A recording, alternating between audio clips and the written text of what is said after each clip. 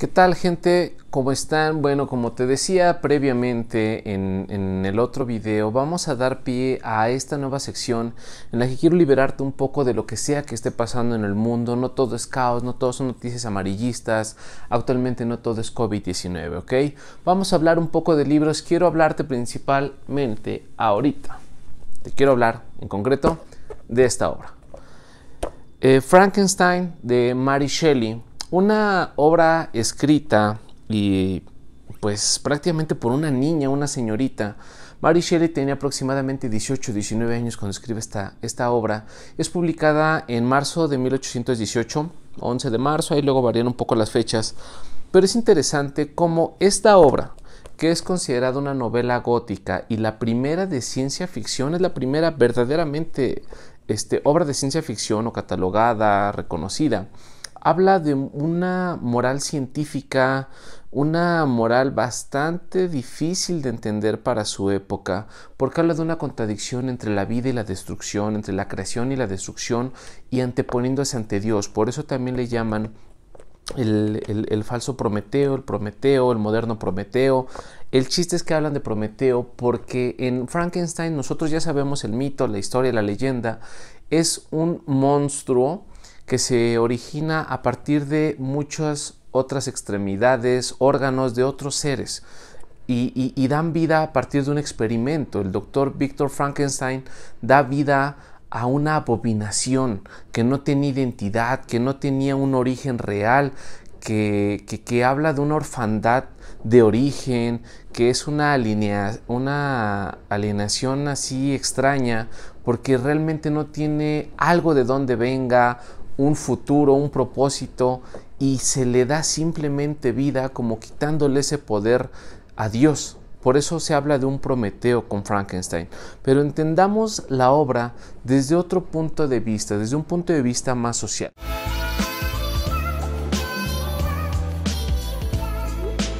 Si nos remontamos a la obra, que en este caso te pongo un libro de, de Emu, Emu es una editorial bastante accesible, creo yo, Vale la pena la relación costo-beneficio porque un libro de Frankenstein vale 300, 400 pesos aproximadamente y en este editorial la encuentras muy barata y dadas las condiciones del mexicano que no lee mucho en algunas ocasiones porque no son tan accesibles los libros, creo que vale la pena hacer el esfuerzo con este tipo de libros, ¿ok?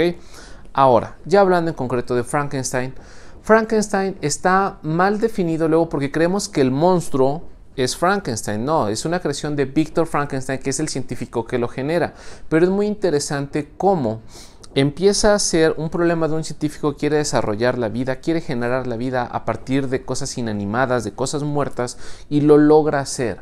Lo interesante es cómo en el momento en el que le da la vida por su aspecto, por las condiciones que ve en él, lo, lo desprecia, lo abandona, lo desconoce y eso genera algo en el sentir de Frankenstein. No hablemos directamente de su corazón porque era un ser que ni siquiera tenía condiciones de sentir, no sabía qué sentir o cómo sentir. Y llama mucho la atención que en el libro se le llama miserable, abominación, demonio y muy pocas veces, pero de verdad muy pocas veces Mary Shelley hace que lo nombren o lo llamen monstruo, porque realmente Frankenstein no es eso, Frankenstein es una analogía social, es como algo se va generando a partir de lo que la sociedad le va dando, le va este, generando en su trato, cómo lo va este, haciendo sentir. Entonces, en un, eh, en un primer momento, cuando es desechado por su creador, por su padre, como él lo llamaba, pues algo pasa en su corazón.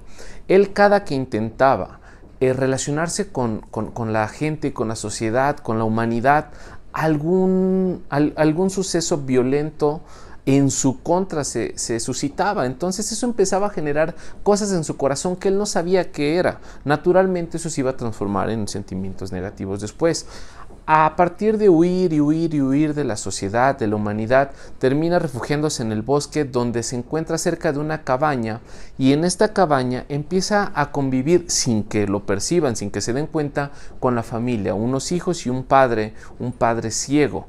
Empieza a apoyarlos y se empieza a ver cómo Frankenstein realmente no era una, no era una cosa un demonio, un algo negativo, era bondadoso. Él les apoyó en más de una ocasión, cuando el invierno venía azotando, él iba por leña porque era un ser muy fuerte, de extremidades grandes, poderosas, y, llegaba a proveer leña, llegaba a proveer alimento, les apoyaba y la, y la familia no sabía qué era. Agradecían a ese espíritu, a esa cosa que los apoyaba, y era Frankenstein, era la creación, perdón, la creación de Víctor Frankenstein, este monstruo, ¿ok? Ese error es común, de hecho. Eh, entonces, ¿qué pasa? Él poco a poco, a través de la convivencia, obviamente sin que lo notaran, empieza a, sentir, empieza a ver emociones, empieza a ver tratos humanos y aprende incluso a leer. En todo ese tiempo se da cuenta que él siempre traía una nota en su bolsillo que ya cuando aprende a leer se da cuenta que es la explicación de su origen, cómo su padre, su creador, Víctor Frankenstein, lo genera y cómo pues es un diario extraño que se vuelve tormentoso para él porque no sabe cómo entonces entender todo. Se da cuenta que está solo en el mundo, que no hay nadie como él y que no hay nadie que lo pueda comprender. Un día cuando los hijos de la cabaña se van, él, él intenta este pues relacionarse con, con el anciano, con el padre, y al ser ciego, pues sabía que no iba a haber problemas, que no lo iba a ver, que no iba a poder este, temer de él, porque cuando empieza a tomar conciencia con la convivencia de esta familia se da cuenta de su deformidad, de lo extraño que es su figura. Entonces cuando regresan los hijos lo ven y se da un suceso violento, lo corren, él huye, tiene temor y empieza a sentir un poco de odio. Al estar huyendo nuevamente en el bosque, él se encuentra con que un río lleva a una niña, la niña naturalmente se iba a ahogar y Frankenstein, el monstruo de Frankenstein, perdón, eh, intenta salvar a la niña. Cuando intenta salvarla y, él empieza a sentir emoción, alegría por el buen acto que sabe que hizo el padre que venía buscando a la niña con una escopeta, se da cuenta que hay un monstruo al lado de ella y empieza a intentar matarlo a disparos. Entonces, eh, e, es este momento en el que nuevamente no sabe qué hacer, no sabe cómo sentirse, porque él ve que hace actos buenos y la sociedad simplemente lo lastima. La sociedad, lejos de agradecerlo, lo maltrata. Y entonces es aquí cuando este ser, cuando este demonio, cuando este desgraciado, como muchas veces también lo, lo menciona Mary Shelley, empieza a sentir odio empieza a transformarse todos esos deseos de bondad, de generar un mejor mundo, una mejor sociedad, de apoyar al que estaba a su lado, empieza a transformarlo todo en odio. Todo este odio de manera muy fortuita, o no, lo lleva hasta Ginebra, eh, lugar de donde es originario su creador, Víctor Frankenstein, y se encuentra con William, su hermano, que una vez platicando con el pequeño niño se da cuenta del parentesco y de repente hay un, hay un episodio, un lapsus de odio en, en el monstruo y mata al niño. Y aquí viene otro, otro interesante momento, porque no solamente con matarlo, sino que él trata de hacer este, una escena de modo que se, que se culpe a la ama de casa, a la, a, la, persona que estaba al cuidado del niño y se empieza a ver malicia en este ser.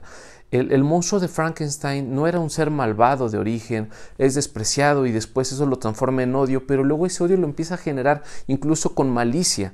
Entonces se ve como ya hay un verdadero deseo de este monstruo, de este ser, de dañar a la sociedad. Después que pasa esto, se encuentra con su creador y le dice estar arrepentido. El, monstruo, este desgraciado, dice estar arrepentido por todo lo que ha hecho, carga con emociones muy fuertes que ya sabe sentir, que ya puede percibir, pero no puede manejar, y le dice, por favor, apóyame. Hazme una compañera, es lo único que pido. Necesito sentirme amado, necesito sentirme aceptado, necesito poder querer a alguien igual. Mm, entonces Víctor Frankenstein acepta porque entiende el dolor del monstruo, ve el dolor en sus ojos y accede a ser una compañera, pero conforme va generando el experimento, todo ese tormento, la muerte de su pequeño hermano, lo empieza a hacer temer, lo empieza a hacerse pues también como que un tanto de odio, lo empieza a hacer dudar y, se pone a pensar que si con un monstruo que él ya generó ha pasado eso, con dos se podría generar una nueva especie que pudiera poner en riesgo a la humanidad. Entonces se echa para atrás, se arrepiente y echa abajo el experimento. Entonces, con esto Frankenstein se da cuenta y lo amenaza. Le dice, yo solo te pedí una compañera para irme de este mundo, para irme a los confines del mundo donde nadie más pudiera vivir y nosotros estar solos y felices. Vas a acordarte de mí, te visitaré en tu boda. Esta amenaza es muy dura, muy fría y demasiado violenta de parte del monstruo. Y, y, Víctor Frankenstein pues trata de no darle tanta importancia a pesar de que en su cabeza estaba de vez en cuando, naturalmente se iba a casar, al, poco tiempo después de esta amenaza, su colega, su amigo Clarver, es asesinado por el monstruo. Esto empieza a generar un gran temor porque sabía que se iba a cumplir la amenaza de que el monstruo iba a estar en, su, en el día de su boda. Eh, Víctor se casa, poco tiempo después, en un descuido que él tenía que hacer un viaje, el monstruo va a visitar a Elizabeth, a su esposa, y la asesina. Víctor enloquece con, con, todo esto, son demasiadas muertes a, manos del monstruo y, y, a esto todavía se le suma la de su padre, de Víctor Frankenstein. Al no poder soportar ya por su edad todas las desgracias que le rodeaban, muere también el padre. Entonces Víctor entra en, en un estado de locura queriendo cazar y asesinar al monstruo. Lo va a buscar por todos los, todos los lugares del mundo en el que podía estar hasta llegar al Ártico en, una embarcación en la que el capitán le, cuenta su historia porque, eh, bueno, en una embarcación que lo encuentra, le, preguntan qué está haciendo ahí en el, Ártico a punto de morir y él empieza a contar la historia, donde nadie le creía, porque era curioso cómo el monstruo se podía ocultar, se podía trasladar de una manera tan astuta que nadie lo veía. Entonces nadie podía creer que la desgracia de la que hablaba Víctor Frankenstein era una creación suya, una creación de algo inanimado, de algo muerto y que había tenido esa, esas repercusiones o esas venganzas en contra suya por no haberle dado una compañera. Entonces, cuando ya está en su lecho de muerte, Víctor Frankenstein, buscando el monstruo, el monstruo se, se, hace ver. Habla con él y le dice que lo perdone. Habla con el capitán que había encontrado a Víctor Frankenstein y le dice que por favor no lo juzgue de una manera tan agresiva, tan injusta. Que si alguien había sufrido ya por todo lo que había hecho, era él y que ya había sufrido demasiado. Ante esto, eh, muere Víctor Frankenstein ahí a, los pies del monstruo y el monstruo dice que se va a retirar, que nunca más lo van a ver y se va del barco con promesa de quitarse la vida. ¿Qué nos deja Frankenstein? ¿Qué nos trata de enseñar Frankenstein? A través de, esta creación que hace. Víctor Frankenstein quería generar vida eh, a través de la muerte, a través de cosas inanimadas, pero yo lo entiendo más como la sociedad. ¿Qué pasa? Todos los seres humanos realmente somos solo el reflejo de lo que la sociedad nos hace. E, el, monstruo, la creación, el demonio de Víctor Frankenstein no era malo en un origen, era bueno. Las veces en las que él no sabía cómo actuar, actuaba bien. En las que no sabía qué y cómo sentir, actuaba con la intención de apoyar al prójimo, de hacer un mejor lugar en donde sea que estaba. Empezó a sentir afecto por personas sin siquiera saber lo que era el amor. Una vez que empieza a sentir todo esto y él trata de acercarse, trata de ser aceptado por una sociedad y esta sociedad lo golpea, lo margina, lo intenta matar, empieza a cambiar, empieza a ver cosas en este individuo, en este ser y naturalmente pasan tantas cosas malas por parte de la sociedad o que le hacen tantas cosas malas que se transforma en algo malo, que, todo ese amor, que todo ese deseo de sentirse amado, queridos, lo transforma en odio y es entonces cuando este ser empieza a dañar su sociedad, cuando le empieza a corromper aún más de lo que ya estaba, al grado de ser violento, de asesinar y de disfrutar hasta cierto punto o de liberarse solo en estos momentos. Creo yo ese es el ser humano. El ser humano de, naturaleza no es malo, pero la sociedad a veces en el trato nos obliga o nos orilla, mejor aún, a no ser tan nobles, a no ser tan sensibles. Y creo yo es la gran enseñanza, una enseñanza hasta cierto punto marxista que nos da Mary Shelley a través de Frankenstein. Es una obra que yo disfruté demasiado, es una obra demasiado bella, es una obra que, por momentos te enternece, que por momentos te, te atemoriza, que por momentos te confunde de verdad de qué lado estás, si estás del lado del monstruo, si estás del lado de la sociedad, si estás del lado del científico Víctor Frankenstein. De verdad es una obra hermosa que te recomiendo que leas y, y, que si ya leíste, pues por favor házmelo saber Eh, coméntame qué te pareció a ti. Seguramente olvidé algunos fragmentos. Seguramente estoy enfocándolo mal. Perdona aquellas veces que le dije al monstruo, le dije Frankenstein. E insisto, llamarlo monstruo es la, es la manera más cotidiana en la que lo hemos hecho. Pero Mary Shelley sí pide tener mucho cuidado en que no lo llamemos monstruo. A veces lo llama demonio, a veces lo llama infeliz, a veces lo llama desgraciado. Realmente no tiene nombre porque creo yo la sociedad es quien se lo da. Ojalá que lo hayas disfrutado, ojalá que este primer video de muchos que espero podamos hacer te haya gustado. Insisto, te hablé de Frankenstein de Mary Shelley. Muchísimas gracias y sean felices.